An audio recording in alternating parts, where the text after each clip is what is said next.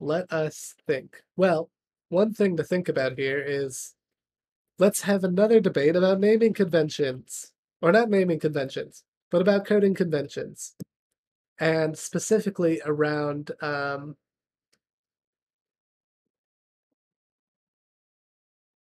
hold on. It's in here somewhere. Yeah. Login view state. So we've got a data class here.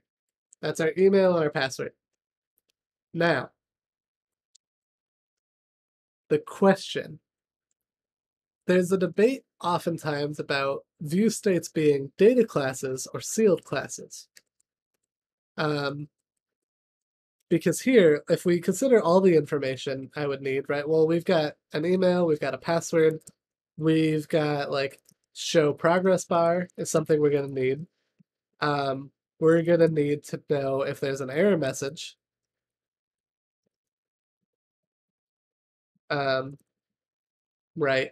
Uh, in theory, we're going to have like, if we have an issue with a particular input, we could have like an email input error message.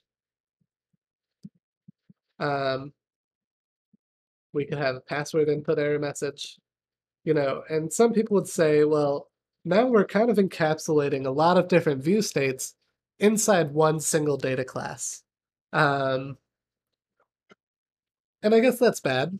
But on the other hand, do I really want like 10 million sealed classes that could define what the login view state looks like? I don't know. Um, what do you think, chat? In my mind, I want to stick with um, this. I like data classes, but um, just curious what other people think. I think I'm going to stick with data classes until it bothers me. Um, let's show a loading indicator on the screen. False otherwise. If supplied, error message about trying to log in, or an error message um, explaining why a user could not log in. Um, if supplied, an error message explaining a problem with the email field. If supplied, an error message explaining a problem with the password input. Yeah, I like data classes too for this example as well because of the fact that you could have like a hybrid approach. So, um, one thing people would say, like, uh, let's say you are pulling data, right? And like, some would say that you could only show the loader or you can show your data. But what if you're refreshing? So then it makes sense to have a data class where you have like a list of items and a separate property that says show loading. But the alternative that some people suggest is, well, that's a third UI state called refreshing. And I'm like, I guess I get it there, but how many sealed classes are you going to end up with? Because how many different combinations of what's right here are we going to have? You know, um, all the different parameters of this could be pretty long. So I think we should go with this. Um, I'm actually also going to give these default values, even though I typically don't like to do that. I'm going to do that here. Um, but in addition to these, so there's a little more that I would do here. Um, namely, like, okay, um, let's consider error message. Um, we got a lot to catch up.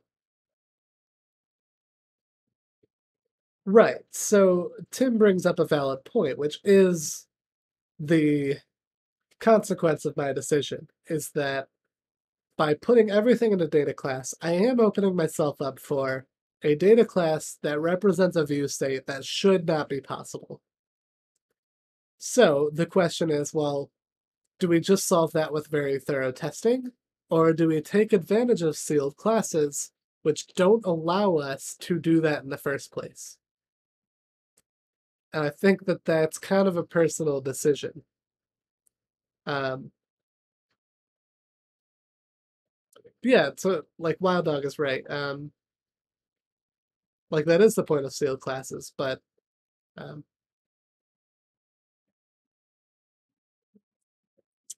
everyone's voting with Tim tonight. Okay. I just I don't I don't like it. I don't know why. Let's okay. Humor me. I'm gonna keep this data class up here at the top. Humor me and help me think about um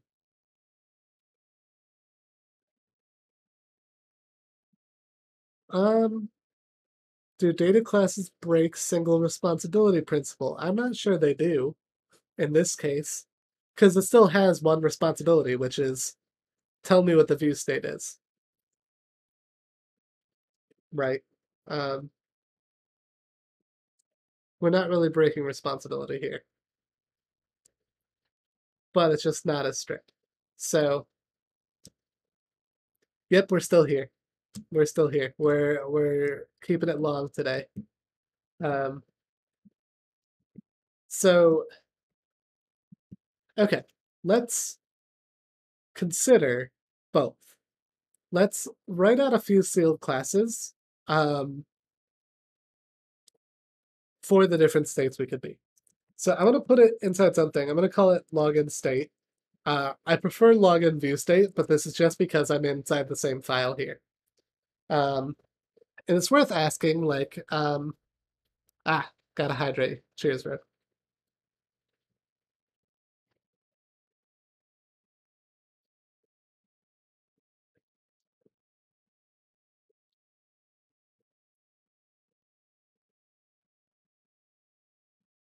Ah, okay, you guys are right. We can break it down.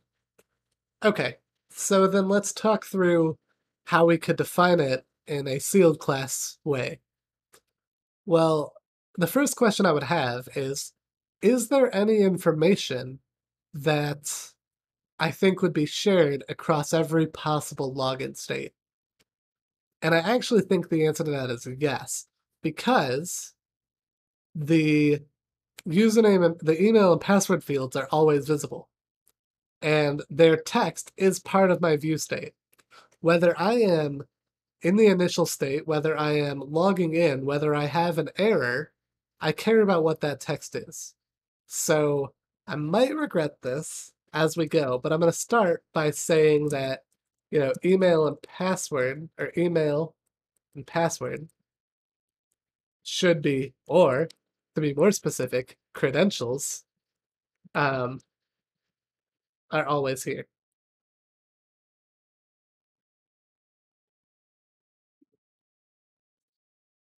That sounds interesting. I I think that it's generics and retro like with networking are really helpful, but yeah, they definitely make um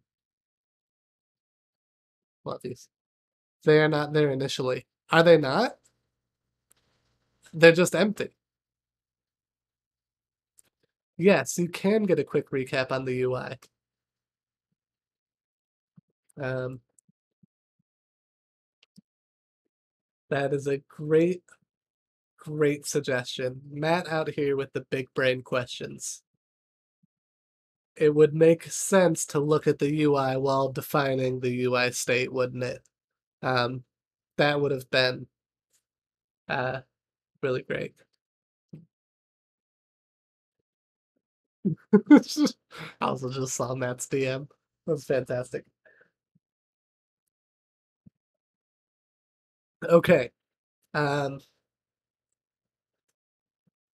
so you should know not to represent no data with an empty string.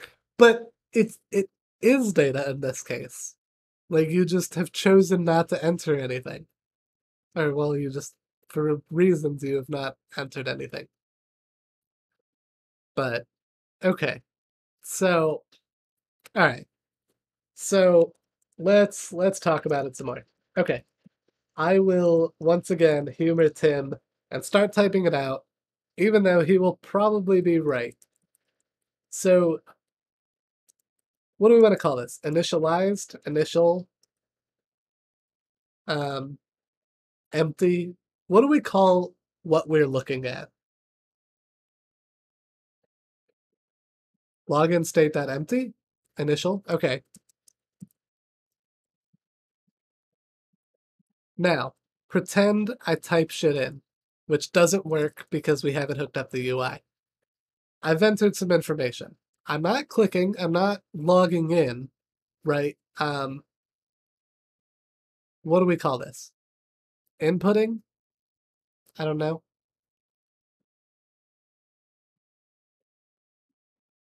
If we don't want to make it a verb, we could call it like input. That feels weird. Login state that input. Um,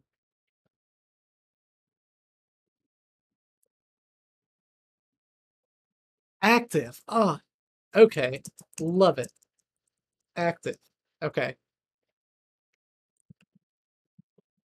We're going to use our credentials sealed class here as well. Well, do we want to use credentials or do we want to split it up to email and password? Let's keep credentials. We keep one one entity there. Okay. So we've got um then let's consider I've pressed the button and I'm logging in. Let's call that submitting. Now, here's where it gets interesting. When I am submitting, I still care about what your email and password are. So it's almost like I'm going to have the same thing. In submitting, I'm also going to have credentials. And to me, this starts to feel like I'm duplicating information, but you could also argue that I'm duplicating it necessarily.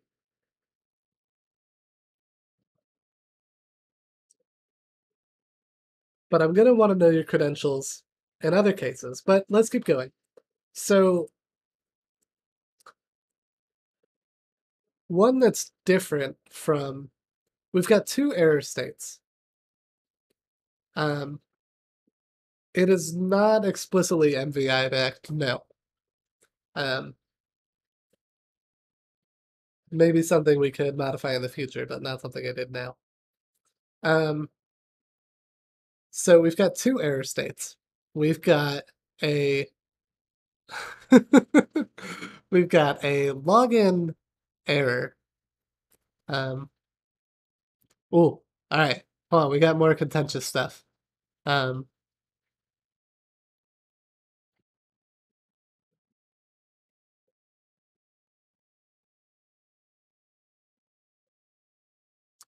like display the message as soon as the input field is updated, focus and active makes sense.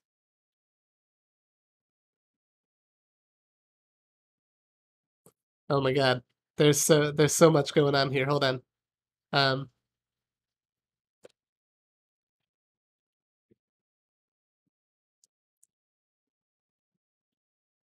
So WebShark, I think that uh, to your point, like sealed classes, as far as I'm understanding them, they can work for all of these. Um, but yeah, it just means you're going to have a lot of instances of that sealed class to represent everything. Uh, the the point now, whether or not I agree with this is different. The point is that it's like type safety. It's like you have this extra layer of confirmation that you are expecting this specific state, and you're not allowing it to be like dirtied with any other flags or information.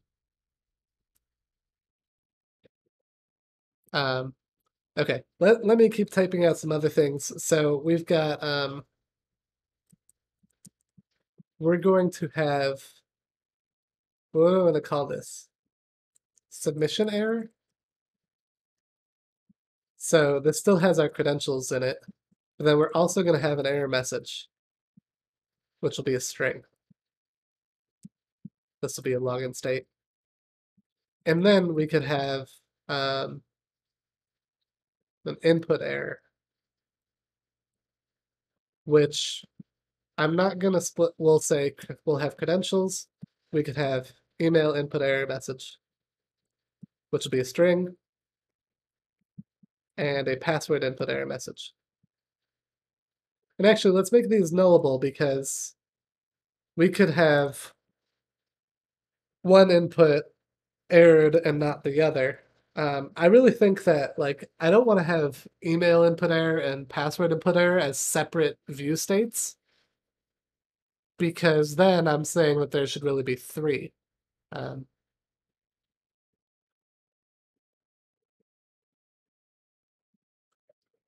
uh, so we'll have one for input error. Um, okay. But, chat, sealed classes versus data classes aside, here's another question. How do I, what's the proper way to then handle something about the login UI that is based on this state? For example, let's say I want to Okay. I mean, that's right. This has come up a lot this stream that sealed classes have scalability benefits for sure.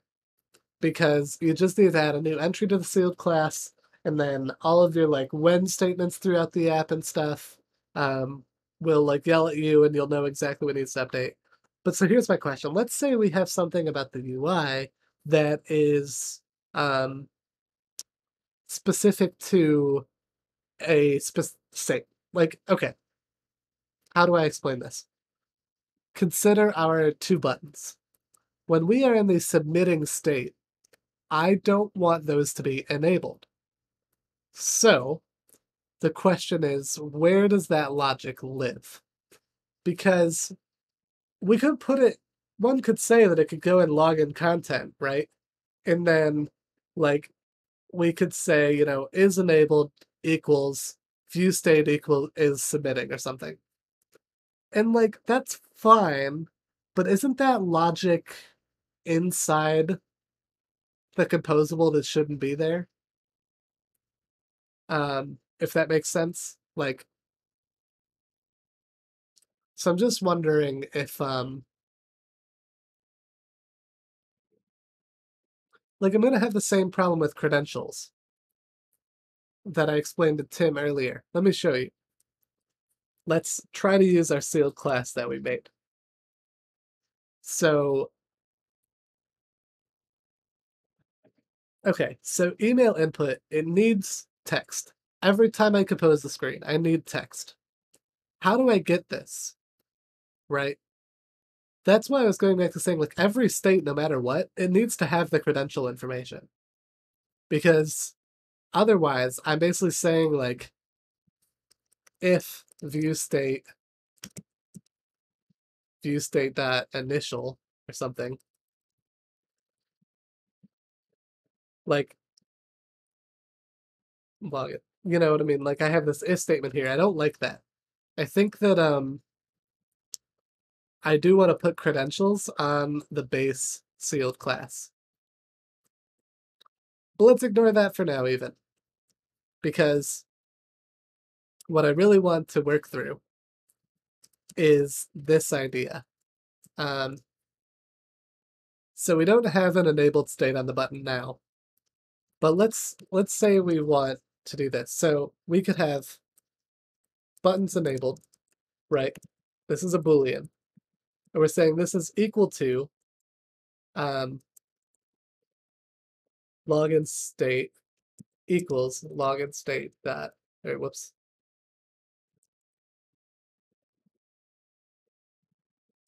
Rather, this is view state is submitting. So this is how I would check if buttons were enabled. And I don't like this because I've kind of got this like domain logic inside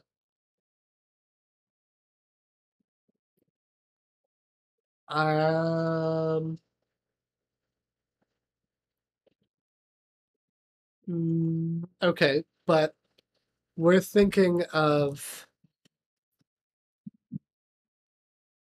but the, so I'm expecting the way I typically design things, I'm expecting my view model to emit this. It's going to emit this login state. So where is that logic actually going to live then? Right, because my view model emits this, the login content consumes that, I expect this to tell me whether or not the buttons are enabled. Now, I suppose maybe breaking single responsibility principle, you know, if I do like, if I do it here,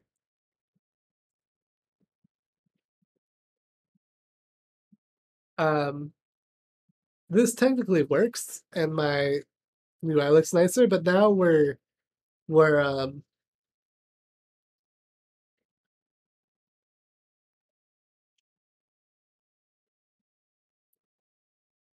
Oh, that makes a lot more sense, Raphael. That makes a lot more sense. You're right. Um, and then I can actually see how, let me revert this class, by the way. Um, I can actually see how that would be really nice, especially if I move credentials up. So you're saying the same thing I was saying about credentials, is that um, words, uh, it's information that is always there, no matter what state we're in.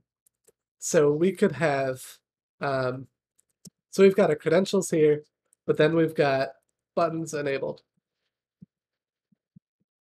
And so actually this, and then in each place we define it, we can specify that there. So here, uh, we'll give default credentials.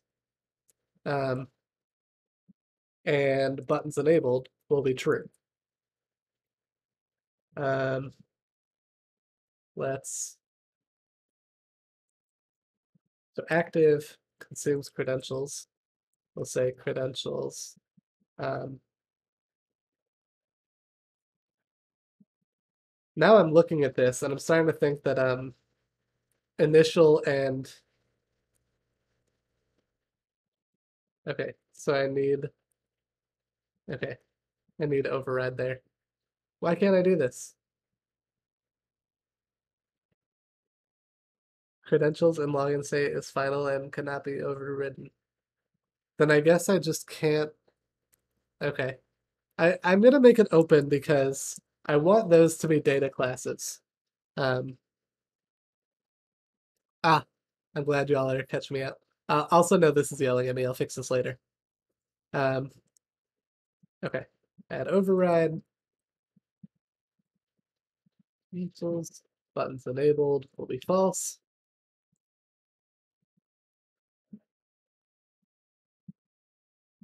Can I do do default parameters work in data classes or in two classes? Ah, oh, they do. Great. Okay.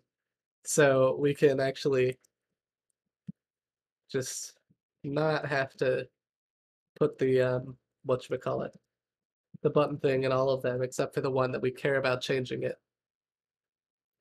So.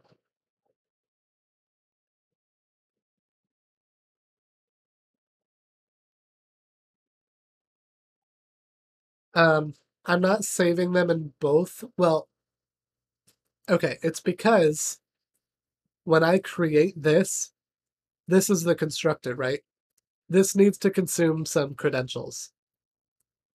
So, um,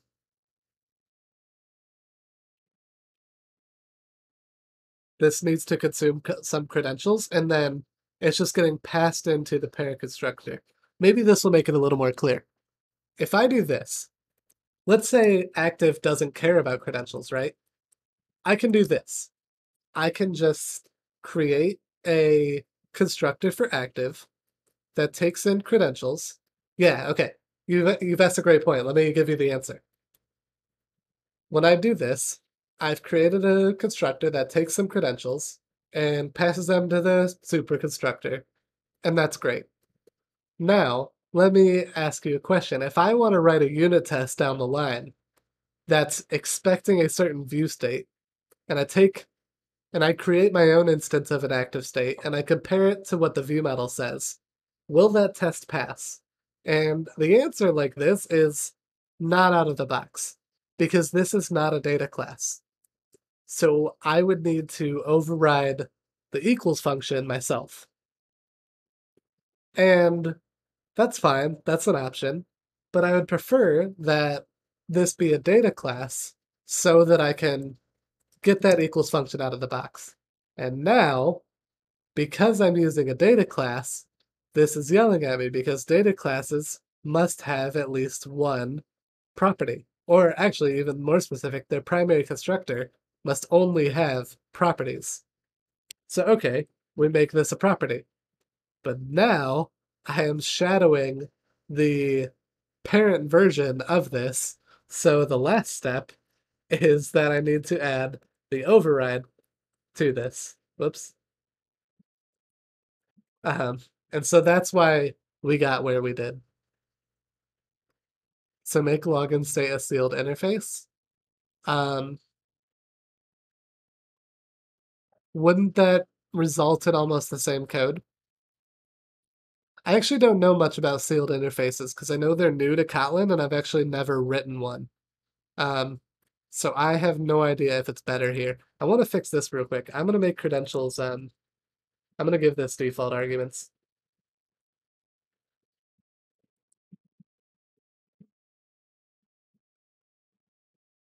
Um, but I actually think, okay, we've added a lot, but I think that we've got something going here. So let's let's try to roll with it some further. Um, we're going to delete this. I mean that's that's valid, but I don't know if there's any other um so sealed class defining all possible states of our login screen. I'm also now I can rename this to login view state uh, property credentials, the current credentials entered by the user. And we've got buttons enabled. If true, the buttons on the login screen can't accept clicks. False otherwise. Um, let's keep going. So actually, initial and active are the same. And I mean, they're not, but they are, right? Like their signature is the same. So do I combine them into one? Do I drop initial? Or I guess they're not because like initial is easier to create. Let's keep them separate. Um, the initial state of the screen with nothing input. Um, state of the screen as the user is entering email information. Um, the state of the screen as the user is attempting to log in. And um, state of the screen when there is an error logging in. And lastly, we've got uh, the state of the screen when the user tries to submit with invalid inputs. Okay. So we did all that. Let's go to our login content. This is all going to have to change now. Um, well, really, this will just be credentials.email value. This will be credentials.password.value. And down here, um, this actually becomes one thing I will say that helps us in the compose world, Tim, is that uh, you know, when I've got sealed classes, my previews become a lot nicer. Because when you have data classes, to get a preview for a different state, um, that's just like, that's a lot of lines that are repeated in every preview. Um, but the sealed class makes this preview a little nicer. So like if we do a split, let's remove this. Um, then we see this preview. And actually, previews can do some cool stuff there's a thing in Compose called a preview parameter provider, where you can pass a list of items. And I suppose you could do this with data classes too. But we could create a preview function that takes in a list of um, login view states and then generates a preview for each one. Uh, maybe something cool we could look at. Not something that's specific to sealed classes, definitely also possible with data classes. But one could argue like you get a little more readability with that sealed class version. Um, but I don't know. I'm just thinking out loud. Um, yeah, I guess it's not like I said. It's not specific to sealed classes, which is why someone will call me out on that. What I just described, you can also do with. Yeah, uh, do you guys want to see it? Let's do it. Um, let me run this, make sure this preview works, and then I'll show you how you can uh, do this yourself. Um, I just need to look up um,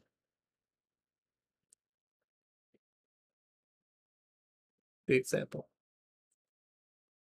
I get that for the screen, it makes sense to hash out a class, but for screens where your data may be updated from multiple sources, having to check the type or switch on the state gets cumbersome. I, I think that's valid. Um, I think that it falls into what we uh, talk about often is like a lot of uh, what did I see on Twitter recently? Best practices is just a fancy word for someone's opinion, right? Like you don't have to do things the same way every time. Um, that makes sense. I don't need that anymore. I'm not sure why my preview's not rendering. This is classic compose happening right now. Or is this yelling at me for something else? Got a render problem. What is the render problem? Array index out of bounds exception. Where is it trying to reference an array? All right, we're gonna do a clean build. And we're gonna get this preview show up. Matt brings up a good point, too. Yeah.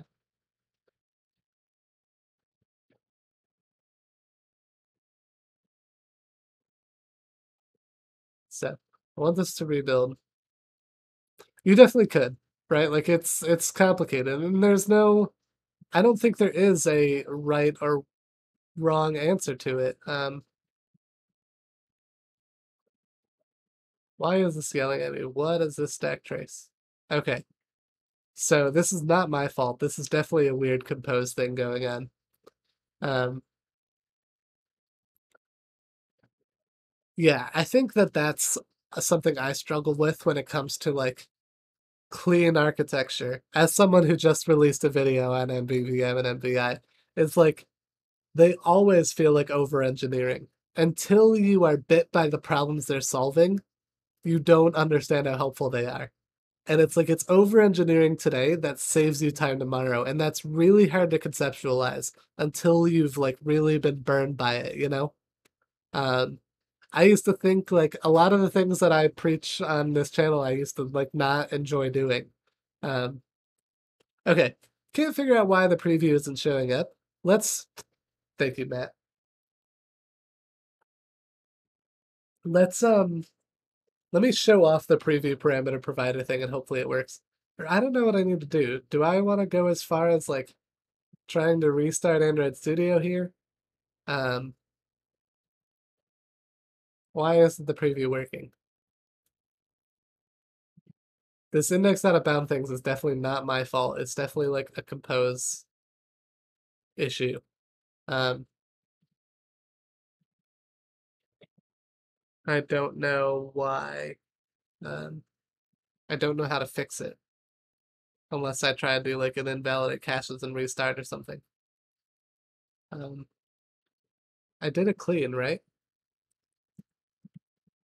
Let's try that one more time.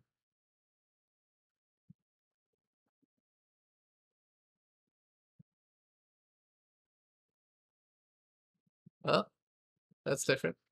Oh my god. I'm not gonna enjoy this. Um, good night, Tim. I'm not gonna enjoy this Uh, promoter thing. It's gonna get to me. It truly is.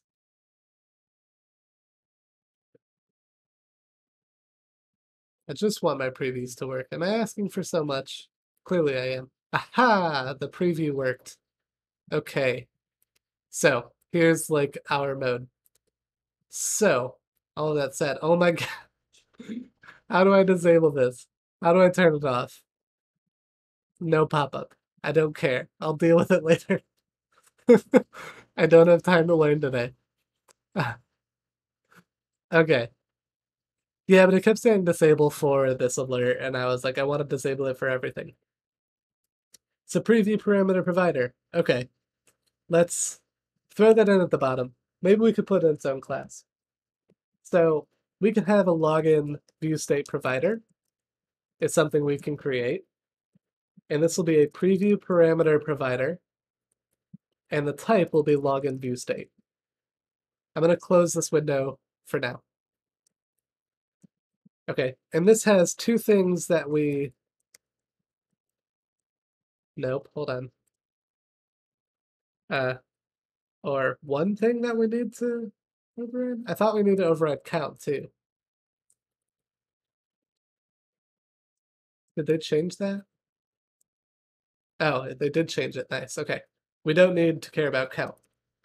So this values, it's a sequence of states that we want to show.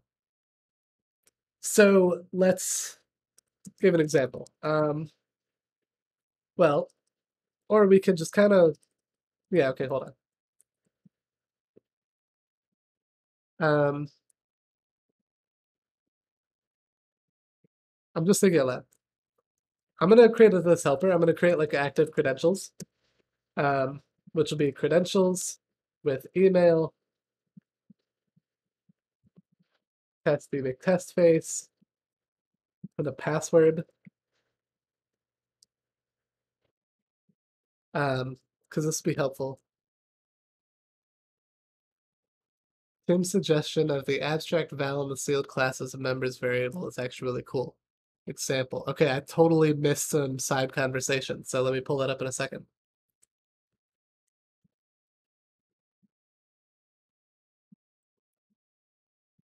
Um, let's look at this.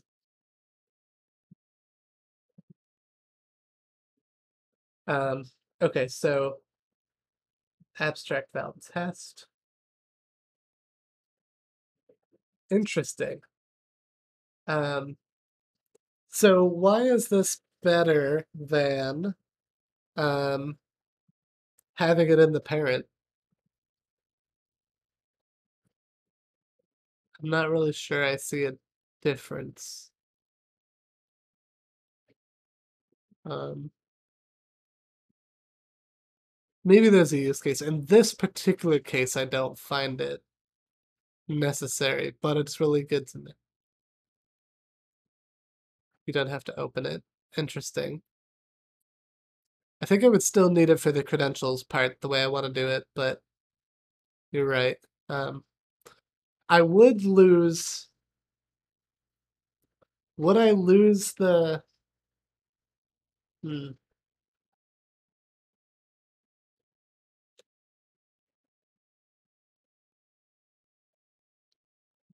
Interface version. We can look at that real quick.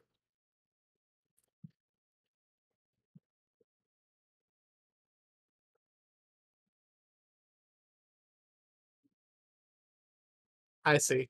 So it's actually the interface is actually pretty much the same thing as uh, what Matt just showed.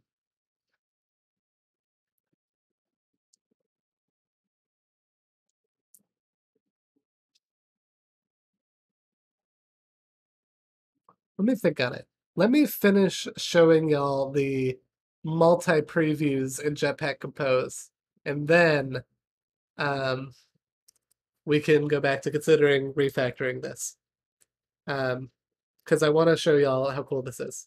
So let me recap. We create a preview parameter provider of some type, right? We override values, which is a sequence of that type. I created some test credentials, but now what we're going to do is we're going to return, if I can type, a sequence of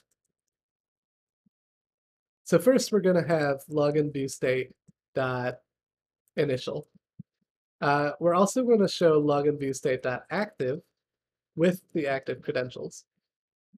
Um, we might want to show submitting, right, which will have the active credentials. We're going to want to show um, submission error. So this would be like active credentials, something went wrong.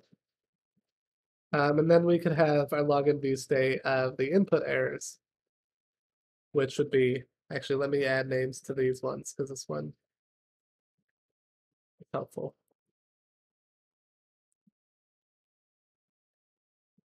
Uh, you know how it would go, Matt? It would go fantastic because we have the copy method. That's how it would go.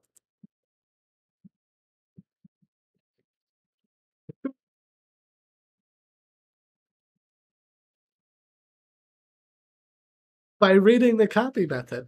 But you're right, I wouldn't know what state I'm trying to.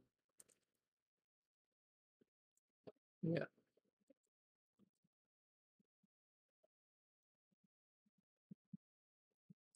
So one funny thing about me doing all of this work actually is the fact that half of these states aren't covered by our login UI yet.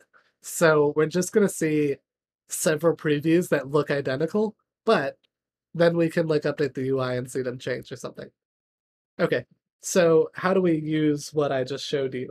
Well, we add an argument in here that uh, consumes the provider. Um, so we want to take a login view state, but then we need to annotate this with preview parameter, and then we give it um, login view state provider class. Um,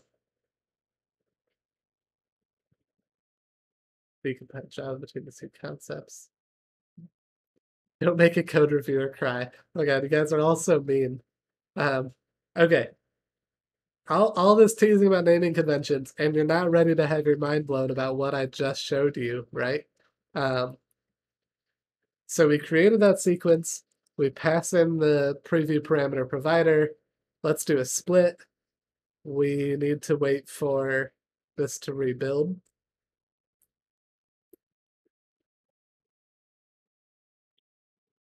And all of a sudden, we have tons of previews that uh, have words.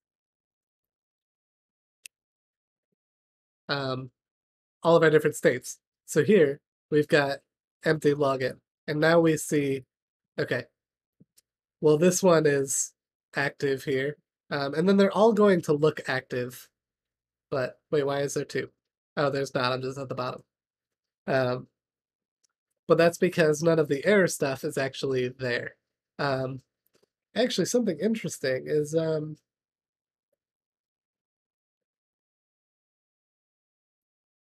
yeah, I'm surprised none of these buttons show as disabled. That I would have expected to have been covered. I wonder if I can rename this. Do they provide a way of giving them a name? No, it doesn't look like they do. Um, yes. Ah, cheers tracks.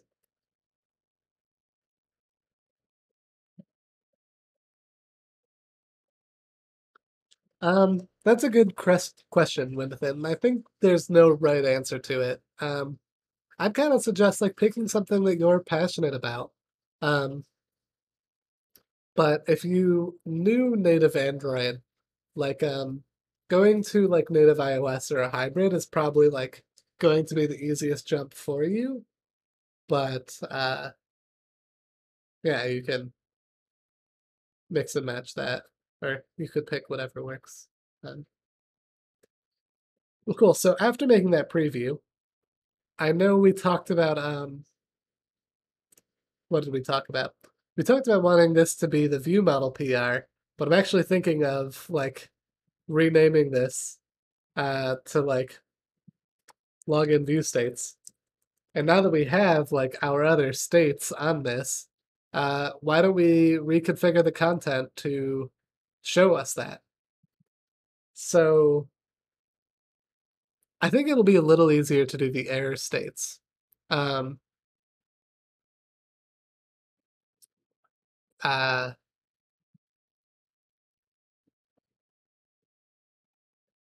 well, let's talk about let's talk about error states because we've got something interesting here. So let's say um, above the email input. Is that where I would put it? Or would I put it after password? Where would you put an error message on this screen? If you had a problem logging in, would you put it below these two inputs? Or would you put it right above them? Maybe above them? Right, so we do like a uh, under password. Okay, I lied. We're doing it under password. Okay. Um, let's do some text. Text will be.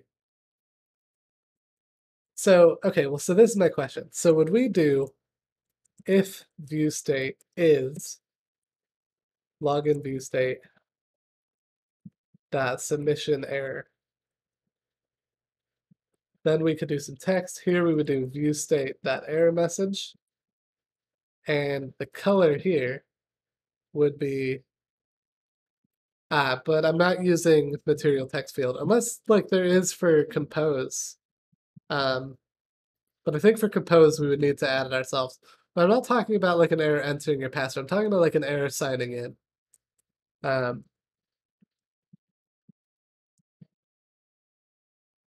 colors dot error. Um, and let's also we're gonna throw in this error message. Let's give it a modifier. Um, let's put some spacing above it. Let's do 12 dips. Let's build and refresh. One of these view states should have an error for us for us to see how that looks.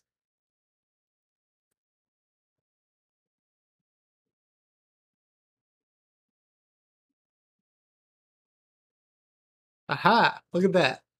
So this one, whoops, I zoomed in too far. This one shows the text that I just added. This will show some text that gives the error message um, when something goes wrong trying to log in. Let's actually, I wonder, can I? This is actually really cool if this works, that I can, it generates all those previews and then I could run a very specific one. Um, that would be cool if that works. Yeah, really fascinating. I'm glad everyone's loving it. Um, also, holy crap, in two minutes, we are going to hit the four hour mark. This will be one of my longest streams ever. Um, which I am grateful for. That means people or I hope that means people are enjoying this and having a good time. Um, okay. It still doesn't look great, but like it works. Um, and actually, I like that it shifts all of this up. So, okay. I like the way that looks. Um,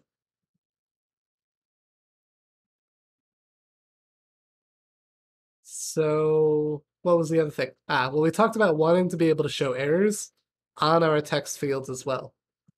So that's actually a custom thing we would have to build ourselves. So we have this TOA text field that we made. The short, if we close it all up, it's an outline text field. Um, what I think I would do is this could consume an error message. Uh, and actually what we would do then is we could take this and we could wrap it in a column, right? And then below the text field, we could put some text, which will be error message. Um, color will be, whoops, whoops, whoa, God. Color will be material theme dot colors dot error. Uh, there's a couple other ways we can clean this up a little more though. Um, actually, well, the first thing is if error message is not equal to null. I don't really like doing null checks inside my composable functions, but I don't hate it here. Because the option is to pass in the error message and a boolean, and do I really need both if I could just suck it up and write the null check? Um, I don't know. I think so. Um, but the other thing is outline text field should have in its error property where we can say um, if error message is not equal to null, we want to show that, which means it will show a um, highlight on the input as well. Um, and we can demonstrate that. We've got some previews in here. Um, let's copy our filled one. Um, and let's make an error TOA text field preview. So we'll call this error error. Oh, I know why this unused private member was there. I think because it yells at that function. But um, anyways, so here we'll say error message. Please enter this. So now if we do a little split here, we'll have to wait for this preview to build, but I think it will show our input with um, an error message. Yeah, we just need to build and refresh real quick.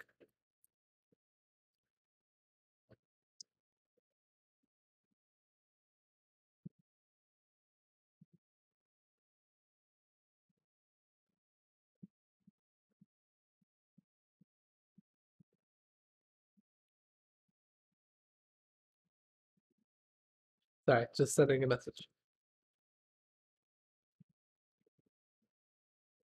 Um, this should be ready. Aha. So here's what the error version looks like. Maybe we could add some padding there. Let's add just like a tiny amount. Um, let's just add like four dips. So we have a little bit of spacing, but we don't want to create a ton. So we see the preview here. Um, let's actually go back to login content and let's refresh those previews and let's see um, what that input error. Yeah, it's not so much a fear of using null, but like the if not null check just feels like there's probably a better way I could have done it. Oh, I know what I did wrong here. Um, so we've got this email input, right? Oh, I, I just remembered like 10 other things about why my previews aren't doing what I thought they were. So the first one is we've got this email input. Um, and this one is actually going to be interesting. So we're saying that email input should be able to consume an error message, which will be a string. Um, and then we'll pass that through. It'll be a nullable string.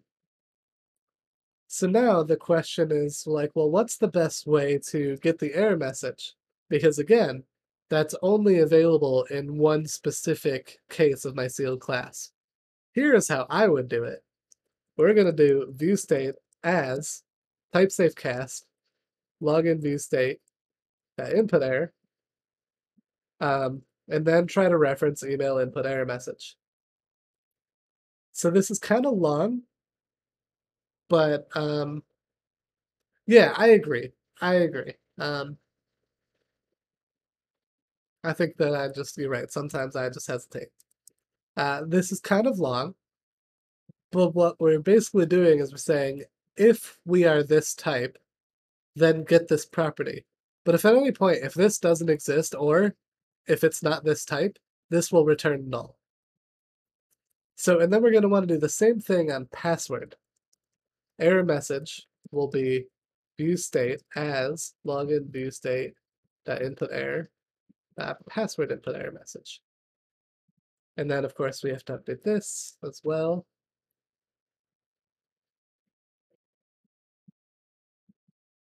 So now that we've added it to this code, if we refresh, um,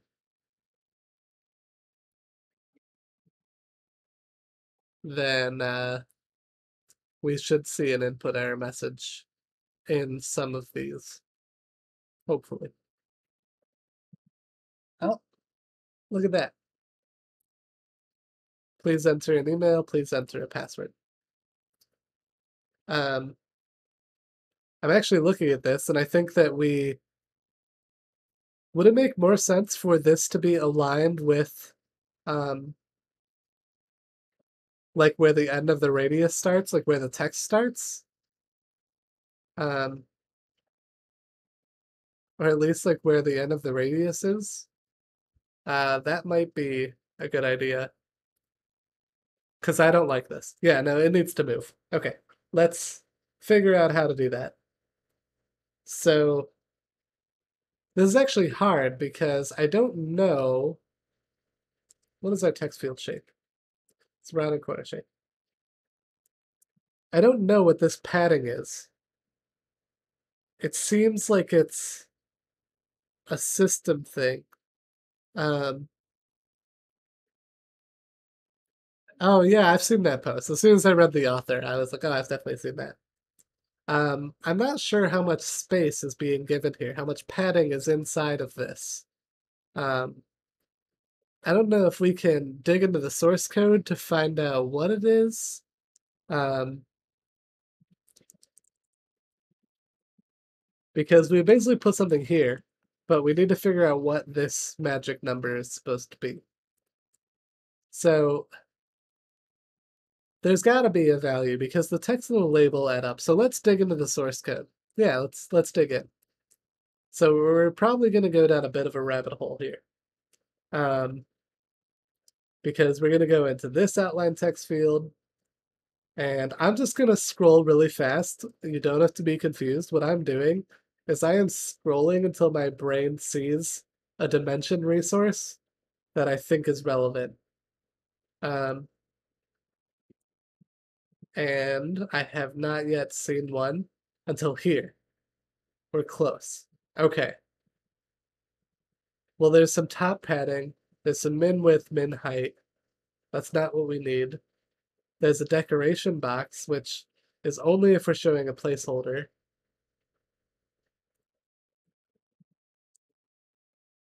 Got a basic text field. All right, I think I actually missed it. I think that it would have been earlier on. Um,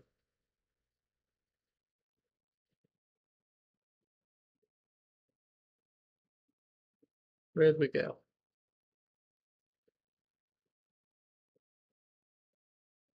Let, me, where did we go? Where did we find this? Um,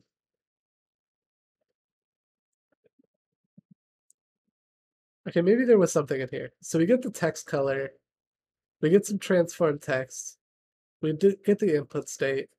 There's this transition, which is for the label. Um,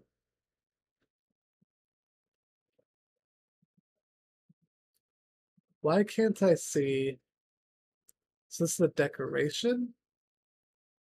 Does the decoration have padding? It does not. Okay, oh god, where do we go? Um,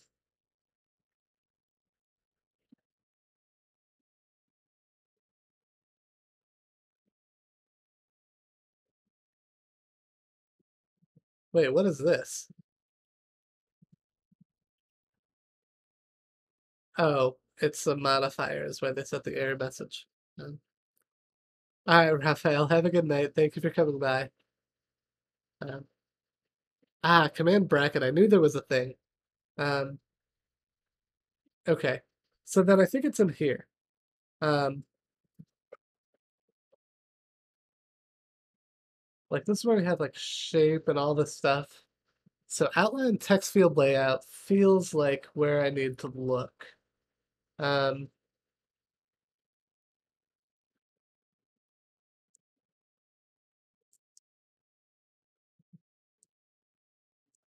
yeah, that's not it. Um,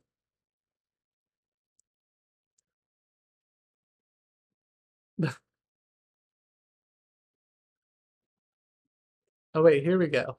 We've got an icons with text field layout. Um, is calculating the label height and stuff.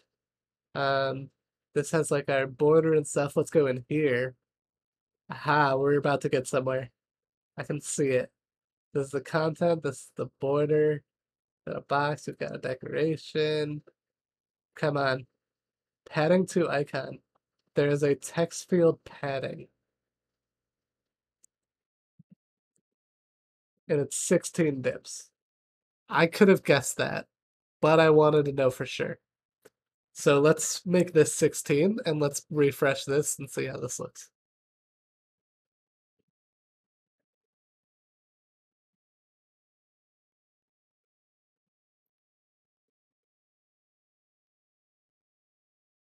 I think it'll be a little weird. Uh, because oh my god, why is it so jumpy? We can see that it, the text starts before the the arrow ends, but um there is something supported actually, and that's uh the trailing there's something called a leading icon.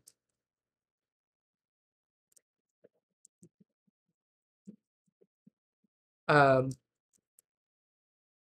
so here we could do like icons dot default dot search, for example. Um, if you add a leading, there's leading icon and there's trailing icon, and then where those get used is they basically show up before the text. Uh, let me just run this to show you. I'll remove this in a second, but just like that. That's all we hit. Oh my god, why is this so jumpy? I don't know what's wrong with my Android Studio today. It's like possessed. Um, yeah, just like that. That's all we have to do to add an icon at the start or end of a text field in Compose. It's really nice that uh, that kind of comes out of the box like that. Yeah, no problem. Um, but okay, so we've got the padding. Let's go back here. Let's refresh this. Oh, that already. Oh god. Yeah, let's refresh this. Um, I find it interesting. I had to change this at my current job because um Okay, I'm glad I'm not alone. Uh I had to change this at my current job for something because uh the text color the text color doesn't turn red. Maybe material suggests that you don't do that? Um no. But um I'm actually thinking ahead at another weird scenario of our login view state, but I don't know if I want to get ahead of myself or not. Let's keep going with things that are relevant. Um, which the only thing we changed before we want to build the view model, I guess, is um, the enabled state on the buttons. So let's do that real quick. So enabled equals view state that button's enabled. Um, enabled equals view state that button's enabled. Um, enabled boolean. Oh my god, I'm gonna need to update a few pieces of code because we're passing into our own thing here. Um, but let's fix one function at a time.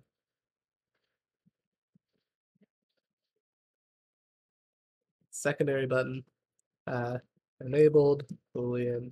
We're going to default to true. Um, enabled equals enabled. We'll also probably want to update a preview for like an, I don't know, I'll leave it. Um, because it'll be here. We should probably update these previews. You know what, I'm going to do it. Um, I'm just going to update the previews real quick while we're here. So I'm going to take this. Um, and because disabled.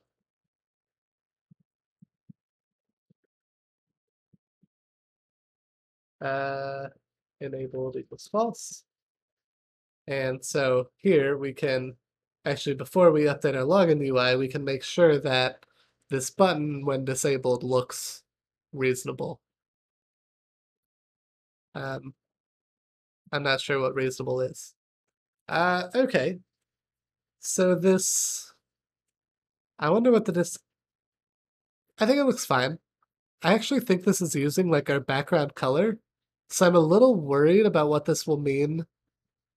Um, when we see it on that screen, but let's worry about that when we get to it. Let's do the same thing for this one. Do disabled secondary button.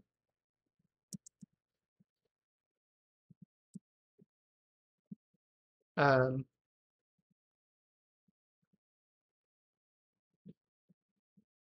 I also learned about an interesting preview trick from Sebastiano last time I watched Coding with the Italians is that you can have groups of previews in Compose.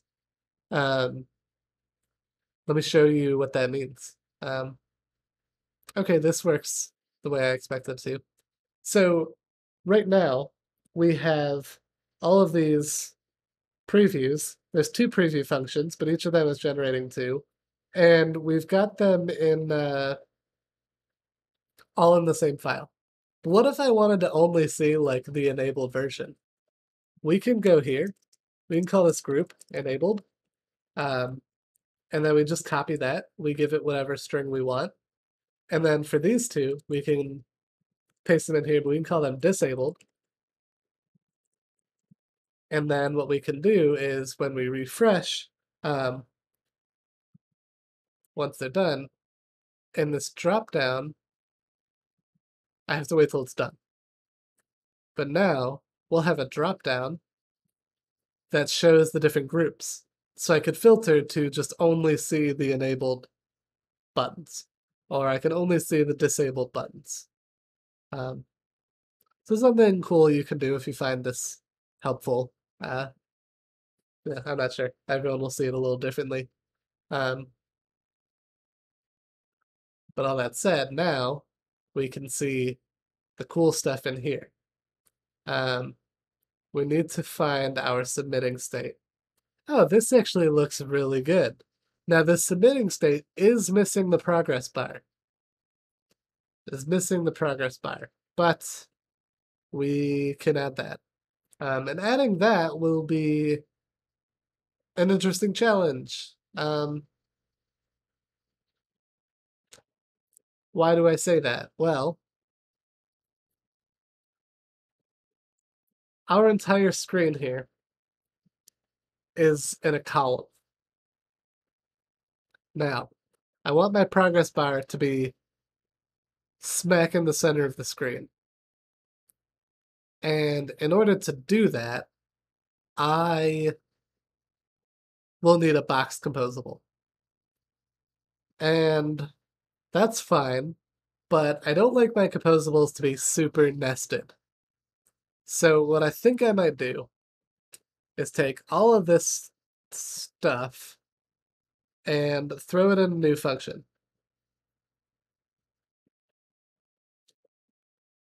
Interesting perspective there. A progress bar within the submit button itself.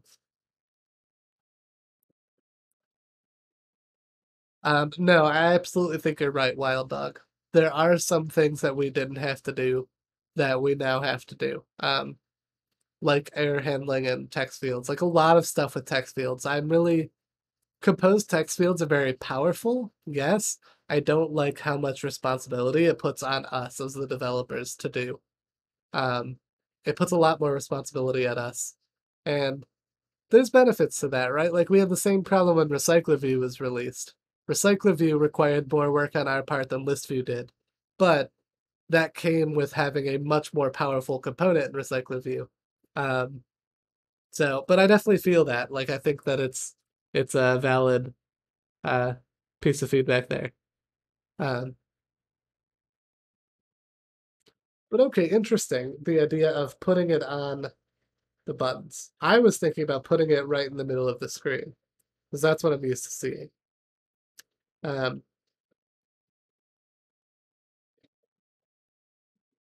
I don't know if I would put it left of the text. I can see myself putting it like over the text or something. I don't know, I think middle of the screen makes sense. Or I'm wondering if there's other another way we could simulate loading. The reason I'm stressing out is because like I if I want to make it a box, I want to like put this out into its own function.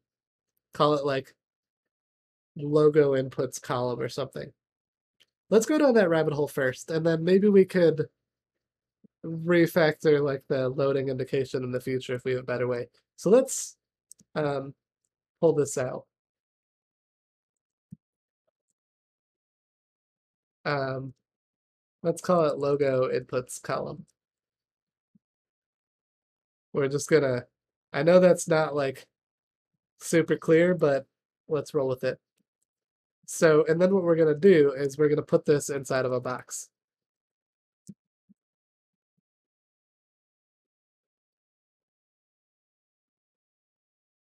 Siblings within a box.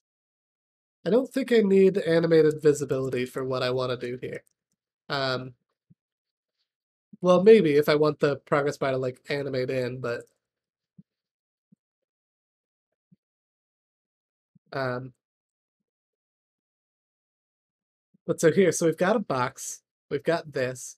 So now what we're gonna do is we're gonna add a circular progress indicator um, on top of everything. But uh, because I've been bit by this in the past, one thing I know is um, we want this to be wrap content size, and then we also want to do align alignment dot center. So let's build and refresh this.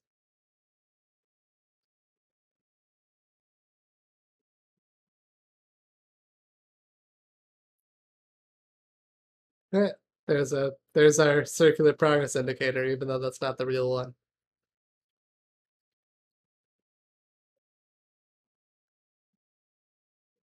A box is it's most an uh, comparable to a frame layout. It's just a composable that you can put everything in, and it draws the lower items first. Um, but it allows you to align things not to each other, but within the box. So you can align to the center of the box, the top, left, right of the box, and stuff like that.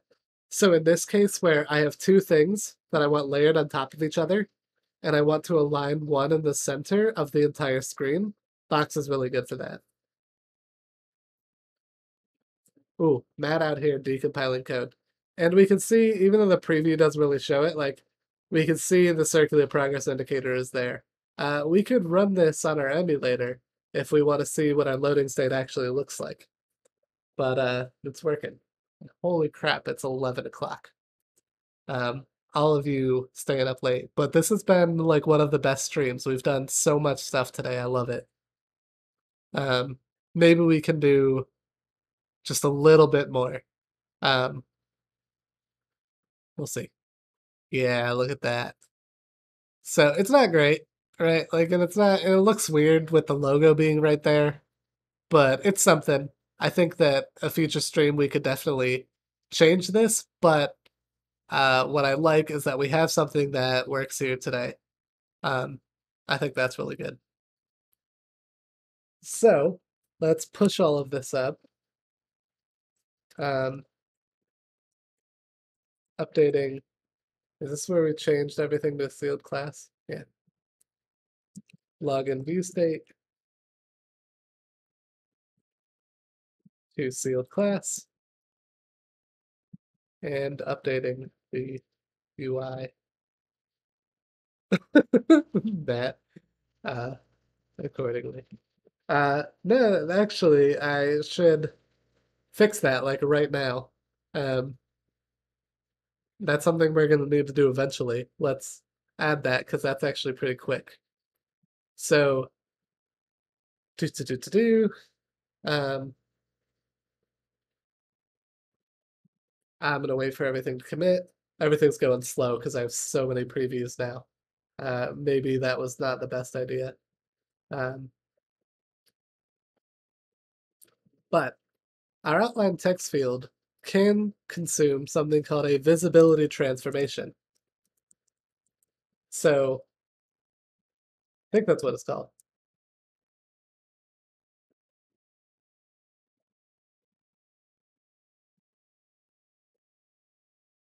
What is it called? Visual transformation. Oh my god, I can't type. So we're going to consume a visual transformation. We're going to default to visual transformation at none, uh, but we'll proxy this through uh, with everything else. And so what this allows us to do is in our login content, where we create the password input, we can give this a visual transformation of password visual transformation. And what this will do is um, this will replace, why did that fail? I don't know, we'll worry about it with the next commit. Um, this will replace everywhere that we have text with dots. Oh, super easy. And you can write your own. So I read a really great post on like how you could write your own visual transformation to do like phone number masking or uh, like hiding a credit card with hyphens instead of dots or something. Um, aha. And there we go. There are our dots. Um, actually, with our Urbanist font style, that's not. I, I don't like that. Well, why are they so small? Um, and so close together. Uh, maybe we'll play with typography. Um, look at those little dots. You have to zoom in like so far just to see that. Why is it doing that? I don't I don't know if it would actually show up like that. This feels like a preview thing. Your password must be 0.5 characters long. I'm running this on emulator. No.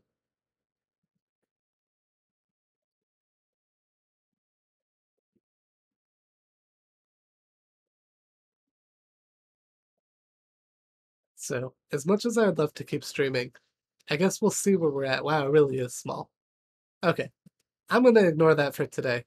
Uh, that will be uh, a future future concern. Uh, but let's commit this code then, uh, adding password visual transformation. Um, and then I don't know if we'll hook up the screen to a view model, but um, you can. You can replace them with every with whatever you want, and that's working. Uh, I think it's a issue with the typography. Um, I can show you how it works real quick. Um, actually, before I show you how it works, let me figure out why um, this didn't push last time. It looks like we had some static analysis issues.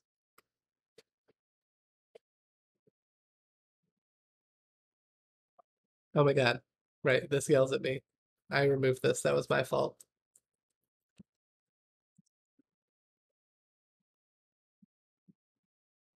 I should just turn off that check.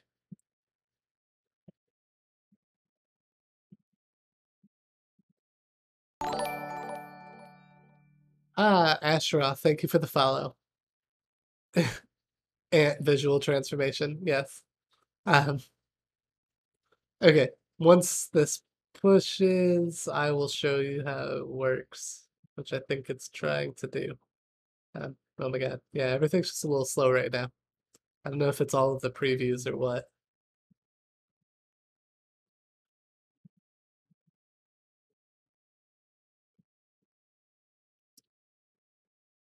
Uh, close other tabs is what I want to do. Okay, so where were we? We were in password input, password visual transformation. Uh, its functionality is as easy as it sounds. So it takes in a mask which is um, basically what you want to replace it with. So this is the Unicode character for like an asterisk. And then this filter function says, okay, give me the text that you already have, and I will return you the transform text. So it creates this transform text, and all it does is it takes that mask character and it repeats it for the length of our string. So if our password is 10 characters, this is just going to give us 10 asterisks. So uh, what someone said, WebShark, yeah, this is basically just replacing it with Unicode. Um, now it's like the transform text, right? So it knows what was there underneath. You don't have to worry about that. But this is what it's going to show up as to the user. So the fact that it's so small tells me that I could probably do something with a better font size or maybe even letter spacing or something with my typography uh, could be improved upon for the asterisk. At least that's my thought process, or maybe I want to try a different mask. You know, like um, I think that's an asterisk. So what's bullet him? Um,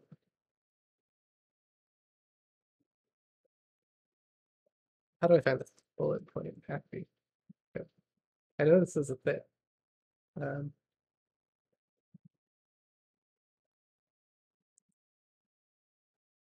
I can't find what the I can copy it here, but it won't tell me. Oh, this is read only.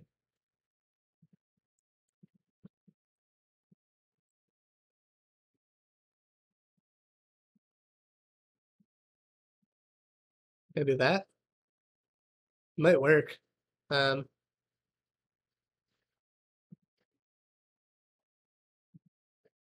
let's see if that's any better than what we already had. Wait, did that fail to push again, or was that an old message?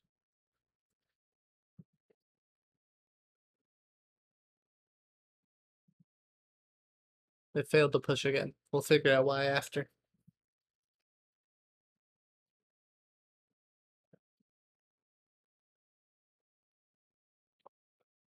Yeah, okay, it's still super small. So it's definitely a typography thing. We'll worry about that on another stream. Um, let's send this back real quick. Um, why? Why did it fail? I just want to talk. Why are you failing? Long parameter list. Um, that's fair. But I can't make this any smaller. So guess what we're gonna do? We're gonna suppress for this case because I think for this case, it's okay. Um, or actually what I might do differently. So Detekt we've mentioned is highly configurable, right? And the long parameter list option gives me a chance to say ignore default parameters. And I think for that, I'm going to say okay. Um, this is opinionated, of course, but I'm going to say like, look, if I've got a lot of default parameters, I don't really care how long the list is. But if I've got a lot that aren't defaults, then maybe I'm doing something wrong. So let's go with that. Um, the text requirement.